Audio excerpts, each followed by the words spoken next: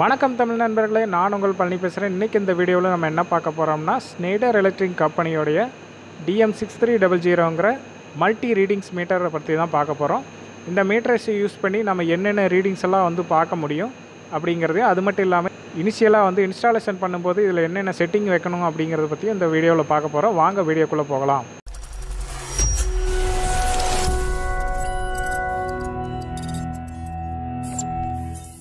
இந்த metre connection complete பண்ணதுக்கப்புறம் இனிஷியலாக இதனுடைய பெராமீட்டர்ஸ் வந்து எப்படி செட் பண்ணோம்? அதாவது சிடிபிடி வேல்யூஸ் எல்லாம் வந்து எப்படி செட் பண்ணோங்கிறத பற்றி பார்க்க போகிறோம் ஸோ அதுக்கு இதில் பார்த்தீங்கன்னா மொத்தம் மூணு மெயின் பேஜ் இருக்குது ஒன்று பார்த்தீங்கன்னா ஆர்எம்எஸ்ஸு ரெண்டாவது பார்த்தீங்கன்னா டயக்னோஸு மூணாவது பார்த்தீங்கன்னா செட் பேஜ் இந்த செட் பேஜில் உள்ளே போகிறதுக்கு இந்த ஓகே பட்டனை ப்ரெஸ் பண்ணோம்.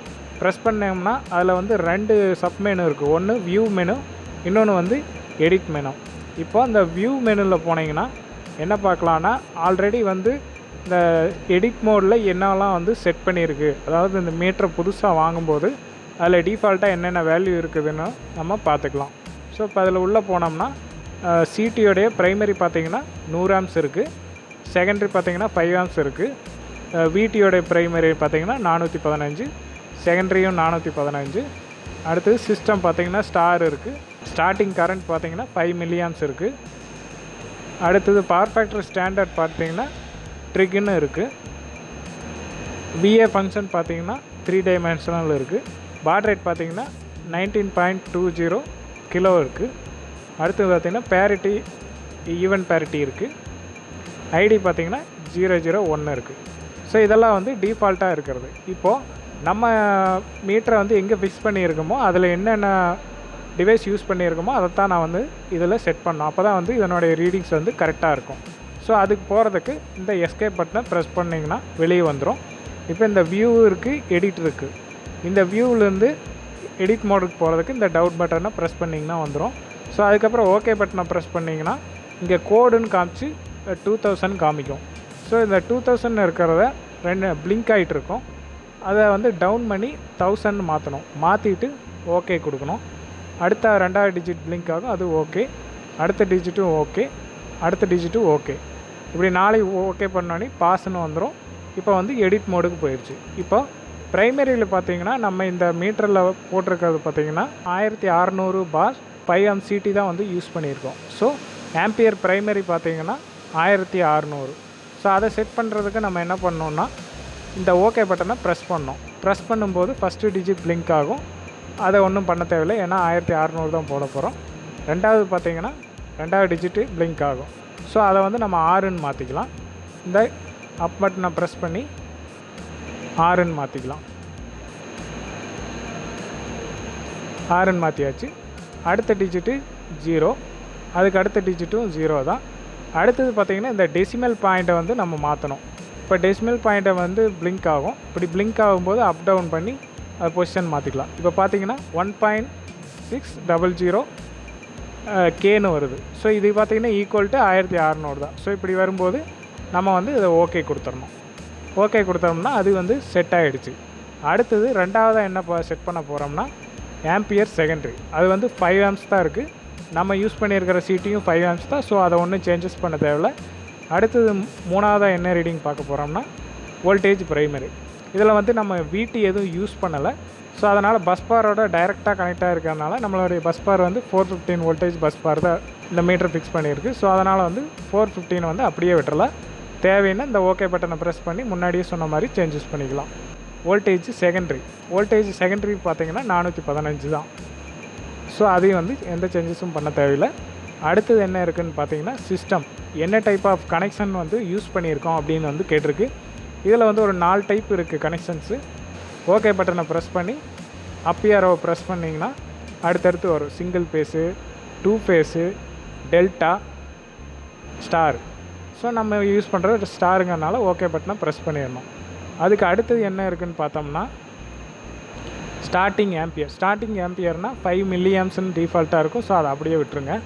அடுத்தது என்ன இருக்குதுன்னு பார்த்தீங்கன்னா power factor standard power factor ஸ்டாண்டர்டில் ஒரு மூணு டைப் இருக்குது அது என்னென்னு பார்த்தீங்கன்னா ஐஇசின்னு இருக்கும். அப்புறம் ஐ ட்ரிபிளின்னு இருக்கும். மூணாவதாக ட்ரிக்குன்னு இருக்கும். நம்ம ட்ரிக்கையே விட்டுருவோம். ஸோ அடுத்ததுக்கு அதுக்கப்புறம் இருக்கிறது என்னன்னு பார்த்தீங்கன்னா பிஏ ஃபங்க்ஷன் பிஏ ஃபங்க்ஷனில் ரெண்டு டைப் இருக்குது த்ரீ டைமென்ஷனில் ஒன்று அரித்மெட்டிக் ஒன்று நம்ம த்ரீ டைமென்ஷன்லேயே விட்டுறலாம். ஸோ ஓகே கொடுத்துட்டு என்ன சேஞ்சஸ் பண்ணால் வேண்டாட்டி அப்படியே விட்டுறலாம். அதுக்கு அடுத்தது என்ன இருக்குன்னு பார்த்தீங்கன்னா பாட் ரேட்டு இந்த மீட்டரில் ஆல்ரெடி சொல்லியிருக்கோம். ஆர்ஜே ஃபோர் எயிட் ஃபைவ் கம்யூனிகேஷனுக்காக ரெண்டு பின் இருக்குதுன்னு சொன்னோம் ஸோ இதை வந்து ஸ்கேடாவிலேருந்து நம்ம மீட்டரை ரீட் பண்ணும்போதோ இல்லை அங்கேருந்து இதை வந்து கான்ஃபிகர் பண்ணும்போதோ இந்த பாட் ரேட் வந்து நம்ம செட் பண்ணால் மட்டும்தான் கான்ஃபிகர் பண்ண முடியும். ஸோ இதில் வந்து அந்த மாதிரி எந்த கனெக்ஷன் இல்லாதனால இதை நம்ம வந்து விட்டுறலாம். அதுக்கு அடுத்தது போனீங்கன்னா பேரிட்டி இதுவும் வந்து அந்த கம்யூனிகேஷனுக்கு தான். அடுத்தது பார்த்திங்கன்னா ஐடி இந்த டிவைஸ்க்கு வந்து ஒரு ஐடி கொடுத்துக்கணும். அந்த ஐடியை வச்சு தான் நம்ம ரிமோட் சிஸ்டத்துலேருந்து இதை வந்து ரீட் பண்ண முடியும். ஸோ இதுவும் வந்து இப்போ நம்ம யூஸ் பண்ணாதனால இது ஒரு சேஞ்சஸும் பண்ண தேவையில்லை. ஸோ இப்போ நம்ம சேஞ்சஸ் பண்ண எல்லா ரீடிங்கும் வந்து சேவ் பண்ணோன்னா அதுக்கு என்ன பண்ணோன்னா ஃபைனலாக எஸ்கேப் கொடுக்கணும். கொடுக்கும்போது சேவ் ஒய்ன்னு கேட்கும். ஓகே கொடுத்தீங்கன்னா சேவ் ஆயிரும். இல்லை தேவையில்லை இதுக்கு முன்னாடி இருந்த ரீடிங்கே போதும் அப்படின்னா இதை கிளிக் பண்ணிங்கன்னா என்னென்னு வரும். ஓகே கொடுத்தீங்கன்னா வந்து சேஞ்சஸ் ஆயிரும். பட் நம்ம வந்து இப்போ சேஞ்ச் பண்ணதை சேவ் ஆகணுங்கிறதுக்காக நம்ம ஒய் அதாவது எஸ் கொடுத்து ஓகே பண்ணிக்கிறோம். ஓகே பண்ணோம்னா பாஸ் ஆகிடும் அதெல்லாம் வந்து சேவ் ஆகிடுச்சு இப்போ நம்ம கொடுத்ததெல்லாம் வந்து கரெக்டாக இருக்கான்னு செக் பண்ணுறதுக்கு என்ன பண்ணோன்னா இந்த செட்டில் வியூ மோடில் போய் பார்த்துக்கலாம். இப்போ உள்ள பார்த்தீங்கன்னா பார்த்தீங்கன்னா ஆம்பியர் ப்ரைமரி வந்து ஆயிரத்தி அறநூறு ஆம்ஸ் வந்து செட் ஆகிடுச்சு அடுத்தது பார்த்தீங்கன்னா ampere secondary five amps voltage primary so எல்லாமே வந்து கரெக்டாக இருக்குது இன்ஸ்டாலேஷன் செட்டிங் வந்து முடிஞ்சிருச்சு. இதை வந்து நம்ம எப்பவும் மாற்ற தேவையில்ல. கம்யூனிகேஷன் இன்கேஸ் யூஸ் பண்ணோம்னா அப்போ அந்த கம்யூனிகேஷன் செட்டு மட்டும் நம்ம மாற்ற வேண்டியது வரும். ஸோ இதுலேருந்து வெளியே வந்துக்கலாம். ஸோ இப்படி தான் வந்து இன்ஸ்டாலேஷனை வந்து செட் பண்ணணும். அடுத்தது வந்து இந்த மீட்டரில் வந்து நம்ம என்னென்னலாம் ரீடிங்ஸை வந்து நம்மளால் பார்க்க முடியும் அப்படிங்கிறத பற்றி பார்க்கலாம். அடுத்தது இதில் நம்ம என்ன பார்க்க போகிறோம்னா இந்த மீட்டரில் வந்து நம்ம என்னென்ன ரீடிங்ஸ் எல்லாம் பார்க்க முடியும்னு பார்க்க போகிறோம் இப்போ செட்டில் இருந்து நம்ம அடுத்தது ப்ரெஸ் பண்ணோம்னா ஆர்எம்எஸ்ன்னு வரும். ஸோ அதில் ஓகே கொடுத்தோம்னா அது உள்ளே போயிடும் இப்போ பார்த்தீங்கன்னா அதில் சப்மெனு ஃபஸ்ட்டு இருக்கிறத பார்த்தீங்கன்னா ஆம்பியரை average voltage line to line average power factor average so இதில் வந்து லோடு எதுவும் இப்போ ஆனில் இல்லாதனால ஜீரோ ஆம்ஸ் காட்டுது. இதே ஆம்ஸ் வந்து எப்போ வந்து ரீடிங் வருதோ அந்த டைமில் பவர் ஃபேக்டரும் வந்து ஆட்டோமேட்டிக்காக வந்துடும் இப்போ வோல்டேஜ் பார்த்திங்கன்னா லைன் டு லைன் வந்தீங்கன்னா நானூற்றி பதிமூணு வோல்டேஜ் இருக்குது. அடுத்தது அடுத்த பேஜுக்கு போகலாம் இப்போ அடுத்த பேஜில் பார்த்திங்கனாலும் வந்து கரண்ட் ஆவரேஜ் வோல்டேஜ் வந்து ஃபேஸ் டு நியூட்ரல் வரும். அதே மாதிரி ஃப்ரீக்வன்சி வந்து எவ்வளோ ஆவரேஜ் இருக்குதுன்னு காமிக்கும். அதுக்கு அடுத்த பேஜில் போய் பார்த்தோம்னா ஆம்பியர் அதாவது ஒவ்வொரு லைன்லேயும் வந்து எவ்வளோ ஆம்பியர் இப்போ மேலே பார்த்தீங்கன்னா L one L two L த்ரீன்னு மூணு இண்டிகேட்டர் இருக்கும். ஸோ ஒவ்வொன்றுக்கு கீழே இருக்கிற ஆம்ஸும் வந்து அந்த பர்டிகுலர் பேஸோடைய லைனோடைய ஆம்பியர் வோல்டேஜ்னு வச்சுக்கலாம். இப்போ இதில் பார்த்தீங்கன்னா ஃபஸ்ட் லைனு செகண்ட் லைனு மூணாவது லைனோட ஆம்ஸு லோடு இல்லாதனால ஜீரோ ஆம்ஸ் காமிக்குது.